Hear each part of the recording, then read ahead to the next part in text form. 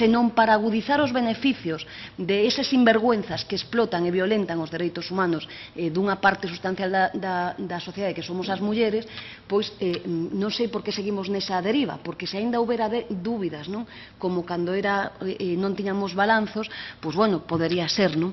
pero eh, certamente eh, xa temos informes públicos e non sirven para os obxectivos que nos tiñamos fixados. Incluso as mulleres de, eh, de, mm, da dereita, non? Eh, hai un debate fondo e, e falo con rigor mm, mesmo do neoliberalismo radical están plantexando que isto é unha vía eh, que non pode ser. Non digo que realmente aí mm, nos gustaría coñecer o que pasa. Por qué? Porque o Estado español acaba de dar un paso máis e un paso máis que non é menor, que é que permite nese mm, índice macroeconómico brutal que é o, o PIB, non? que é moi masculino, permite que eh, incorporemos os beneficios de esa eh, brutal explotación como é a prostitución que compute no PIB.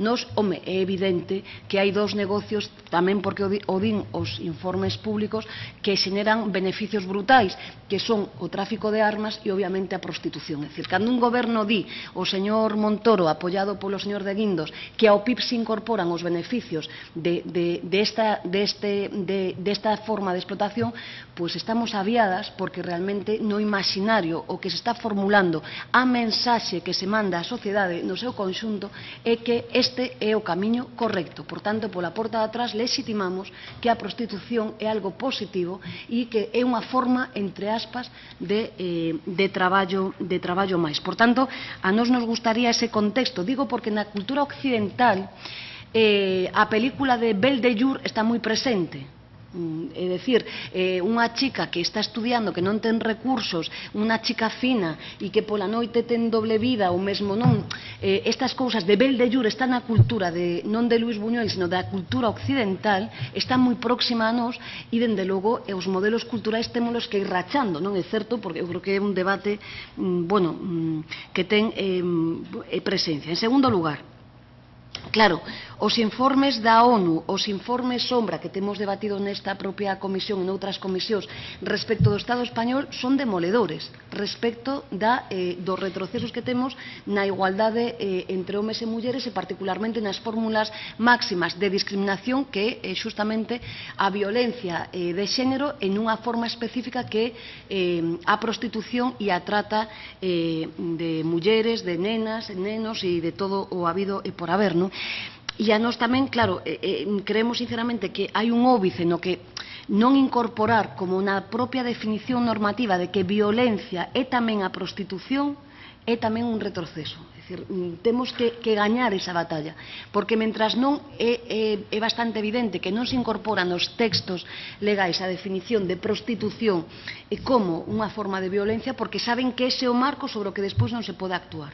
E realmente creemos que nas normas tense que dar ese paso, mesmo neste Parlamento tivemos un debate fondo sobre isto e non o conseguimos. Quero dicir que realmente, mm, bueno, como un debate fondo nesta cuestión. Pero volvendo ao informe Sombra, claro, é que estamos no, no, no, mm, na, na descripción que facía o ponente respecto eh, da situación brutal eh, de mulleres que ademais son migrantes, que ademais viviron probablemente guerras ou non viviron guerras, pero viviron situacións brutais, realmente necesitan e tomarse en serio esta cuestión. E tomarse en serio esta cuestión é unha actuación integral non que semellaría que concitar, pois, si efectivamente un protocolo transversal no que dende arriba ata abaixo, é dicir, dende o primeiro elemento que é o lingüístico, pero en segundo lugar todos os recursos eh, eh, de vida necesarios para elo actúen a vez. Se non é así, é que non vai servir de nada. É dicir, eh, agradecendo todo o traballo que as ONGs e as entidades religiosas, que hai moitas e o están a facer porque ninguén o presta, o están facendo e o están facendo ben. É dicir, non que realmente, mm, bueno, eh, un, un elemento eh, complexo, non? E despois tamén eh, mm, os factores de que os recortes en materia de en orzamentos, e que falar de orzamentos é falar da vida, é dicir, estas son as cousas así. Entón, os recortes que estamos sufrindo, tanto en igualdade como os recortes que estamos sufrindo en cooperación, eu creo que non axudan a todo o que estamos, as eivas que estaba eh, sinalando eh, o propio o propio ponente, non? Entón, eu creo que mm, todo o que se manifestaba, é dicir, de o plan efectivo, eu creo que eso sería vital para tratar eh, con seriedade e ademais ese plan ir acompañado dos recursos económicos necesarios. Eu sinto ser grosera, pero que se si facemos un plan estupendo e non poñemos al lado canto costa este plan, non nos vale para nada. Creo que teño que ir rematando ¿no? eh, vou rematando eh, xa eh, con unha última cuestión que iba a plantexar que xa me esquecín.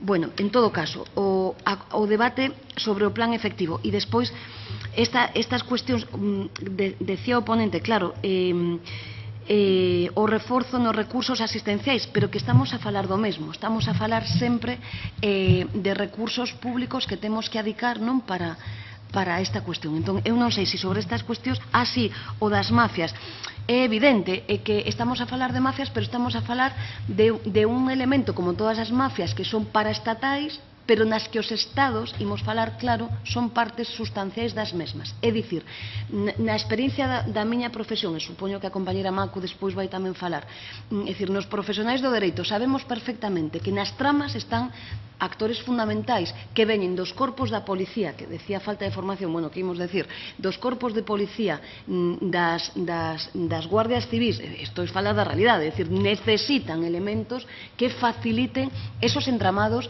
que eh, son auténticas mafias mm, realmente, non? Entón, mm, claro que é complexísimo eh, eh, atacar ou, ou, ou entrar non nunha organización paraestatal cando, insisto, eh, son actores sustanciais mm, dos gobernos os que están actuando nel. Habería, non me dá tempo, pero podería poñer múltiples exemplos na propia experiencia profesional miña de que isto é así, non? Por tanto, bueno, un pouco esas consideraciones e despois remato, Presidenta, decir, claro, risga estas cuestións e que os trámites da risga. Se a unha muller que está nesta situación sometémola a un trámite burocrático de formalización dunha risga na que estamos tardando os meses que se tardan, matámola. É imposible, é un círculo vicioso. Volta á prostitución ou volta ao que seña, porque ten que comer ou dar de comer a súa Ten que rematar. E remata, xa. Grazas polo tempo demais. Moitas. Moitísimas gracias por parte do Grupo Socialista, señora Cuña, ten vostede a palabra. Gracias, presidenta. Bo día, señorías. Bo día a